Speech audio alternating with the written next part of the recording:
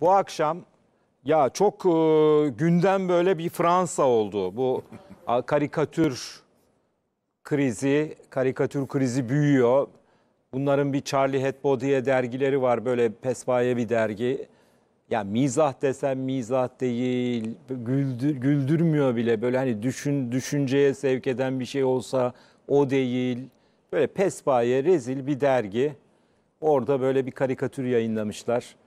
Yani hem Cumhurbaşkanı Erdoğan'a hakaret ediyorlar o karikatürde hem de e, Hazreti Muhammed'e hakaret ediyorlar. Ve ikisini birden aşağılayan ve iğrenç bir e, yaklaşım, Provokasyon. provokasyon. Kesinlikle. Yani insan ya bir toplum var koskoca bir İslam toplumu, Müslüman toplum. Ya bu insanların bir hassasiyeti var kardeşim. Yani diyorlar ki biz inciniyoruz diyorlar. Biz rencide oluyoruz diyorlar bu karikatürlerden dolayı. Yapmayın diyorlar ya. Yıllardır, aylardır, haftalardır bu bizi incitiyor diyorlar. Düşünce özgürlüğü diye bunu koyuyorlar insanların önüne. Ve bu provokasyonu sürekli yapıyorlar. Bir tane öğretmenin başını kesti bir tane terörist. Bunu da gerekçe göstererek kamu binalarına, sınıflara, her yere bunu bu karikatürleri taşıyorlar. Neymiş işte o teröriste inat olsun diye. Ya o adamın yaptığı doğru bir şey değil ki. Yani o o adamın yaptığı bütün bir Müslüman toplumu temsil eden bir şey değil ki. Neyse yani böyle bir karikatür krizi var. Ee, fakat bu karikatür krizinin ötesinde bu krizi baştan beri alıp götüren Macron var. Yani Macron sadece bu karikatür krizinde değil. E, Yunanistan'da bizim karşımızda. Libya'da bizim karşımızda. Karabağ'da Ermenistan'ın yanında. Böyle Suriye'de PYD'lileri destekliyor. Yani bir İslamofobi çıkarttı sürekli onu pompalıyor. Yani sürekli her fırsatta Türkiye'nin karşısında bir tutum alıyor Macron. Nedir bu adamın derdi yani? Bu Macron denilen adam niye böyle bir şey yapıyor? Böyle bir tutum içine giriyor? Tarafsız bölgede önce bunu biraz tartışalım istiyorum. Ya Hakan Bey sizin şeyiniz nedir yani? Ee, nedir bu Macron'un derdi? Yani Macron hani bu karikatürlerdi her yerde karşımızda. Ne diyorsunuz bu konuda? Şimdi e, öncelikle bir kere genelde Fransa'daki toplumda da hava budur diye senelerdir anlatıyordum. E, onun bir ispatı olarak yarınki sizin yazınızdan bir müsaade ederseniz parça okuyacağım. Yani bu gece hasbelkader elime geçti. Önce bu gece baktım. Bakın demişsiniz ki başlıkta yani bu sadece Macron'un fikri değil. Fransız siyasetinin ve Fransız genel sosyolojisinin fikri anlamında da bunu. Şunu okuyup sonra söyleyeceğim cevabınızı. Siz demişsiniz ki yarınki yazınız bu. Hürriyette yarın çıkacak olan yazınız. Fransa'nın yerli ve milli muhalefeti başlık. Muhalif partinin lideri Le Pen meşhur. Şimdilerde oyları %17-18'lere çıktığı söylenen Le Pen. Televizyonda aynen şöyle diyor. Çok açık konuşacağım. Erdoğan'ın, isim veriyor Erdoğan'ın, Macron'a karşı yönelttiği tehditler gerçekte Fransa'yı hedeflemektedir. Çünkü Macron Fransa'nın cumhurbaşkanıdır. Macron'la aramızda milyonlarca anlaşmazlık var. Siyasi rakipler ya. Buna rağmen ben kararlılıkla Macron'un yani Fransa Cumhurbaşkanı'nın arkasındayım diyor. Şimdi bir hem Fransa'daki genel bütün siyasi partilerin bir iki parti hariç belki Sosyalist Parti hariç O bile tam tam karşı çıkmıyor. çıkmıyor çıkmıyor. Toplumda da böyle bir hava var. Hep bunları anlatıyorum ben ki yani bizim milletimiz bilmeyen de dünya bize nasıl bakıyor özellikle Fransızlar. E Fransa dediğin Hollanda, Belçika bilmem ne çoğunluk aynı. Tabi bu arada dipnot düşeceğim. Bu bir muhalif parti Le Pen'e. Ee, Ve Bu konuda- ırkçı bir parti yani. ve ırkçı ama neticede muhalif konuşmaz Macron'a karşı. konuşmaz. Macron'a karşı. tabii. Hatta diyor ki milyonlarca diyor ayrı düştüğümüz fikir var diyor. Mesela ben bu konuşmayı kaçırmıştım. Bazen e, ta- alıyorum algı olarak. Ee, bu konuda diyor tam destek veriyorum diyor. İşte benim onu o konuda da aylardır bizim muhalefete de yani milli konularda milli meselelerde de illa eleştireceksin her şeyi sabahtan akşama eleştireceksin değil derken işte Fransa'daki tipik bir örneğini de burada söyledim. Şimdi bu Le Pen bu, bu lafıyla puan mı kazanır puan mı kaybeder? Puan kazanır. Hem de Le Pen'in taraftarından bile puan alabilir. Şimdi bu bir. Macron'un taraftarı. Macron'un tarafından tabii nereden çıktı? Le Pen'in bu konuşması diyorum yani. Şimdi e, burada olay şu. Üç temel sebebe bağlıyorum. Bir, Fransa'daki genel e, toplumun yüzyıllardan beri gelen, hali hazırda orta eğitim kitaplarında okutulan tarih bölümlerinde. Yani tarih dersinde Türklerle ilgili bu Fransızlar büyürken işte lise, ortaokul, lise eğitimi alıyorlar ya. Tarihçi olmasına gerek yok. Orada o tarih kitabında bizden diyelim 3 satır geçiyor, 5 satır geçiyor. Tamamı bizi biz kötü adamız. Orada Olumsuz. canlı- olumsuz adamlarız biz. Yani biz değiliz de öyle yazıyorlar. Bir kere toplumdan böyle bir aşağıdan yani Türkiye'nin aleyhine konuşan zaten orada bir ha bak sempati falan yaratıyor. İkinci mevzu dikkatlerden kaçıyor. Fransa'da 1 milyon 100 bin bir hesaba göre Ermeni seçmen var. Hakiki seçmen. Oy kullanıyorlar. Şaka değil yani. Yüzde bir buçuğu falan temsil ederler. ikiye yakın. Üç, Ama 10 milyonda Müslüman yaşıyor Fransa'da. ama onun ben size söyleyeyim. e, 600 bin 700 bini son rakamı bilmiyorum ama seçmen. Ha, seçmen az. Tabii. Onun çoğu çalışan bilmem ne Cezayir'den gelmiş, Fas'tan, Tunus'tan gelmiş falan.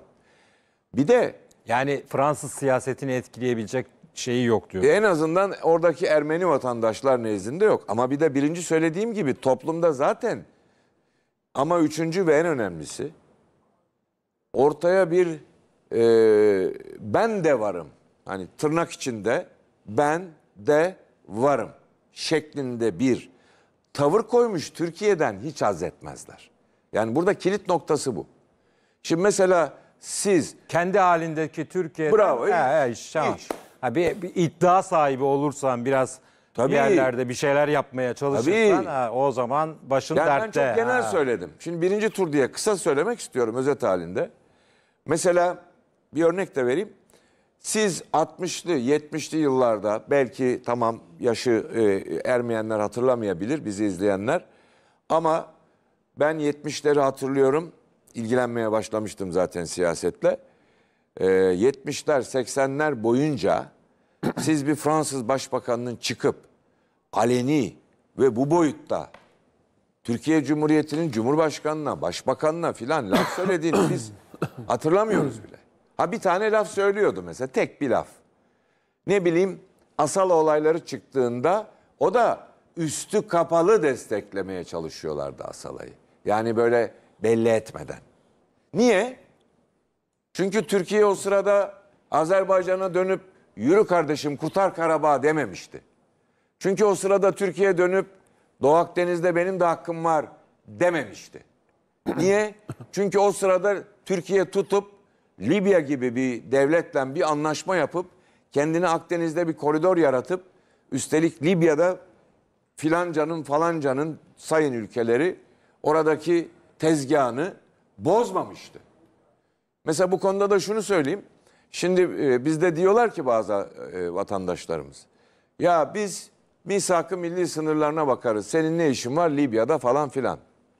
Ha Libya'ya Rusya çökecek, Fransa çökecek, herkes çökecek oradaki parsayı götürmek üzere. Petrol kaçakçılığı yapacak. Ve hep petrol kaçakçılığı yapacak, şirketleri kuracak, trilyonları götürecek. Bunlar onları yaparken resmi hükümet Türkiye'ye çağrıda bulunacak. Biz diyeceğiz ki çok özür dileriz biz milli misakının dışına çıkamayız. Biz Türkiye sınırlarımızın içinde bir garip kendi halimizde bir ülkeyiz falan. Atatürk'ün dediği misak-ı milli bu değil. Onu bile tanımlayamıyorlar.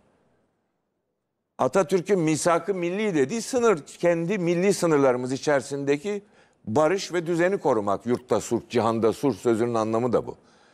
Herkes dünyada, mesela güneyimizde Suriye'ye 7 tane devlet çökecek.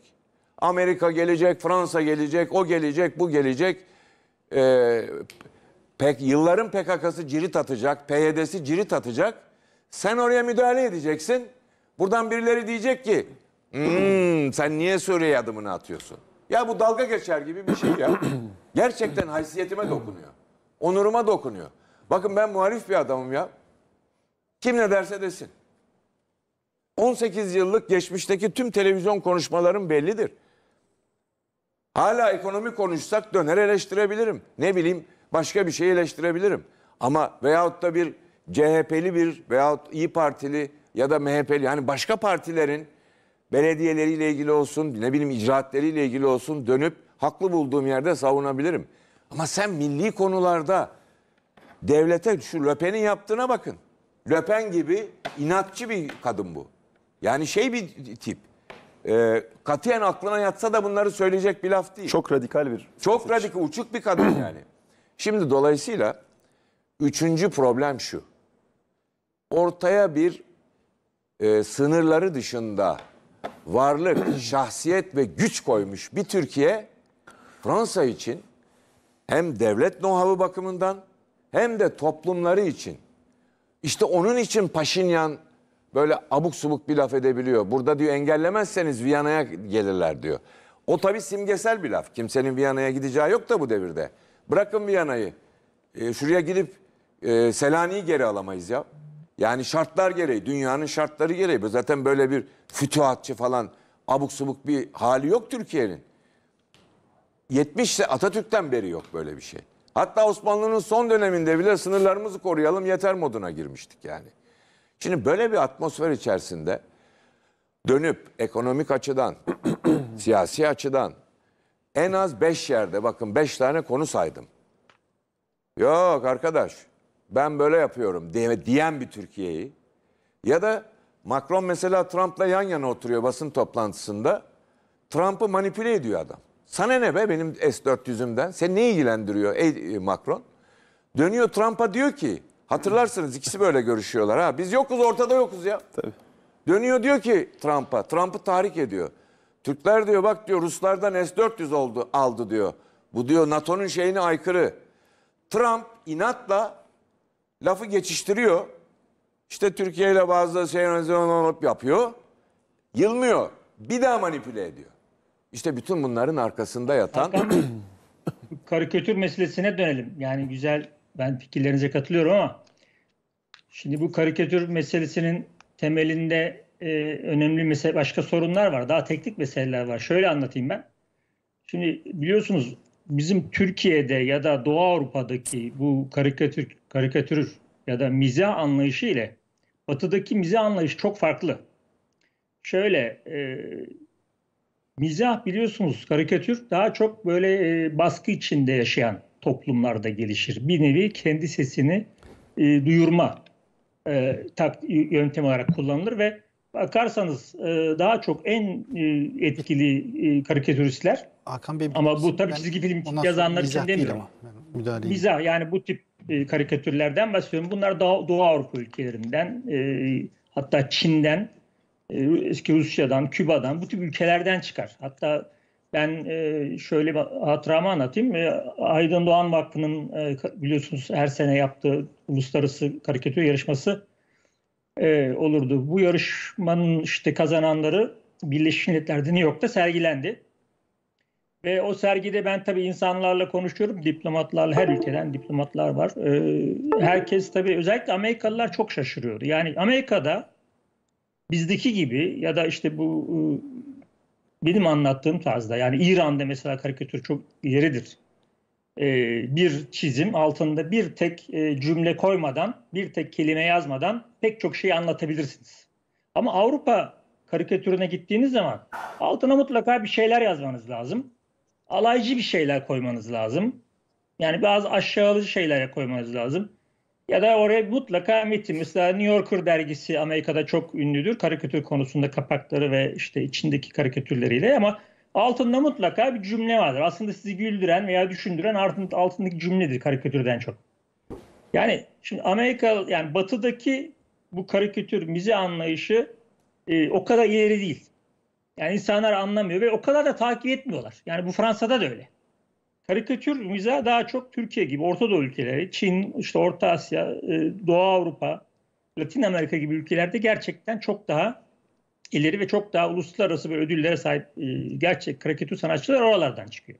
Şimdi konu bu karikatüre geleceğim. Yani bu e, Ch- Charlie Hebdo, Hebdo e, ilk defa bunu yapmıyor.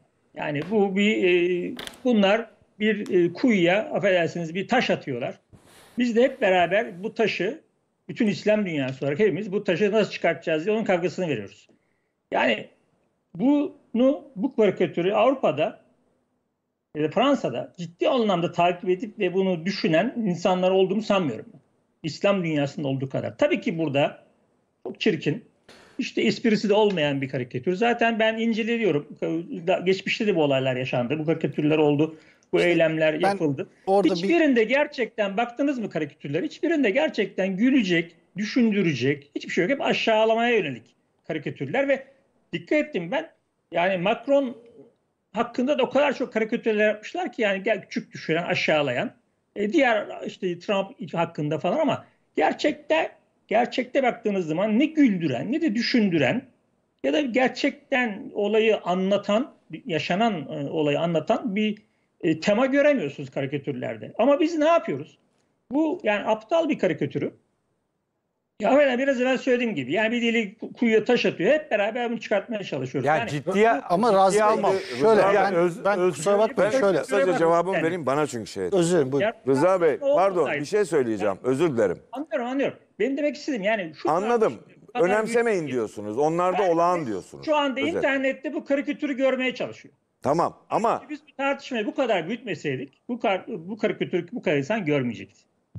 Rıza E Bey bak, problem tamam. Razi. Razi. Olmayan Ra- aşağılayıcı özür- özür dilerim, özür dilerim, özür dilerim. yani. Razi, Razi bir Razi Bey, dakika. kusura Razi, bakmayın. Razi duyuyor mu bizi? Razi evet. bir dakika. Hakan Bayrakçı bir şey söylüyor. Şimdi bana soru Macron ne yapmak istiyor diye geldi. Yani konu karikatürden gelmedi. Anlıyorum anlıyorum. Karikatür ben yani konusunda- olayı karikatüre toparlamak istedim. Hayır, Yani karikatür konusunda bir bakış açısıyla haklı olabilirsiniz ama karikatürde de problem şu. Ee, şimdi Batı'da dediğiniz gibi bu işler çok daha e, suplex, daha olaylara çok yani onlar için önemli değil. O Macron için de ne karikatürler yapılmış orada. O problem değil. Ee, Fransızları tanıyorum. Ben 9 sene Fransız okulunda okudum. Saint Benoît'da, Saint Michel'de. Saint Michel mezunuyum. Liseyi ve ortaokulu okudum. Adamları çok iyi tanıyorum. Paris'te de çok bulundum. Ama burada problem şu. Macron'un konu karikatür bir yanıyla ama bir de açık bir şekilde Türkiye ile ilgili bir tavrı var. Yani biraz önce okuduğum Hakan Bey'in yazısındaki, yarınki Hürriyet'te çıkacak olan yazısındaki Löpen'in destek vermesi, bu söylemlerinin toplumda destek görmesi. Yani ben zaten aylardır hep şunu anlatmaya çalışıyorum. Buna orta içinde bulunduğumuz Orta Doğu'daki Arap dünyası da dahil bizi genelde bizden hoşlanmıyorlar. Bunu defalarca anlattım. Bunu niye hep söylüyorum? Benim milletim bunu yeterince bilmiyor. Yani yüzde sekseni milletimin yüzde yetmişi bilmiyor. Aydınlarımızın da yarısı bilmiyor. Yani dünyayı incelememişler bize nasıl bakıyorlar diye. Baş, Amerikalıların, İngilizlerin, Fransızların yazdığı kitapları Türklerle ilgili okumamışlar. Konu burada sadece İslam dünyası değil. İslam Bakın Ha, son aynı olarak da şunu benzerliği söyleyeyim. müsaade ederseniz çok kısa araya Ben- gireceğim. Karşılıklı konuşalım. Elbet. Aynı benzerliği ben mesela Türkiye'de sanıyorum Akit gazetesi mi, Yeni Akit mi ben takip etmiyorum ama galiba Yeni Akit gazetesi zaman zaman böyle Atatürk'ü aşağılayıcı bir takım e, başlıklar atıyor, bir takım karikatürler kullanıyor. Mesela.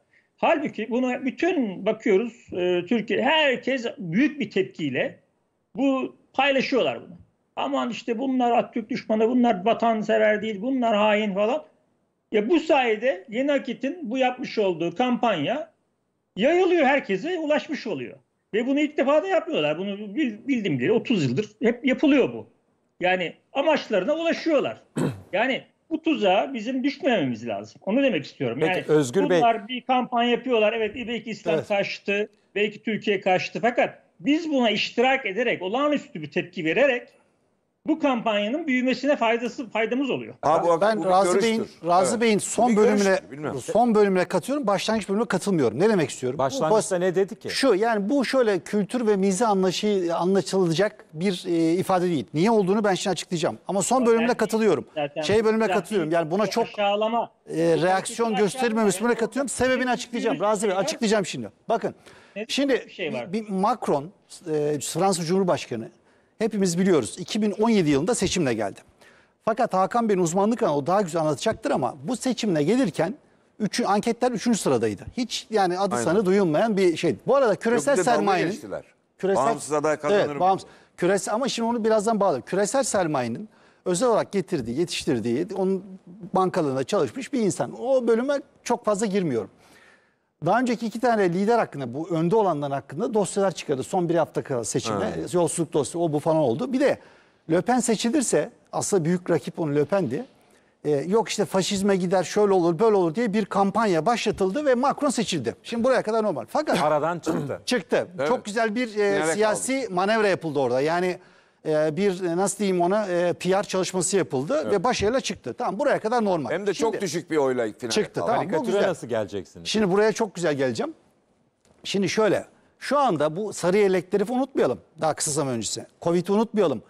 E, Çok büyük sıkıntılar yaşadı Fransa. Artı Fransa halkı ve politikacısında biraz öncesinde o yazınızda e, ters olarak son gündemde destekliyor ama ters olarak ya biz Türklerle niye bu Doğu Akdeniz'de kapışıyoruz gibi yani bu mealde tepkiler geldi. Ve Fransa halkında destek oranı ben yanlış kafamda %30'ların altına doğru düşmeye başladı. Macron'a. Macron'a karşı evet.